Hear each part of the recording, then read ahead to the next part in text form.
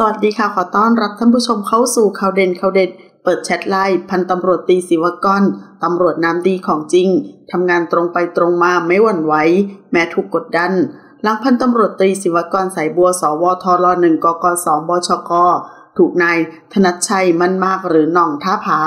อายุ 45 ปียิงเสียชีวิต เหตุเกิดที่บ้านของกำนันนก หรือนายประวินจันคล้ายกำนันตำบลตากล้องอำเภอเมืองนครปฐมเมื่อช่วงกลางดึกของคืนวันที่ 6 กันยายนที่ผ่านมาด้านนายวิโรธลักษณะอดิศรสสบัญชีรายชื่อพักเก้าไกล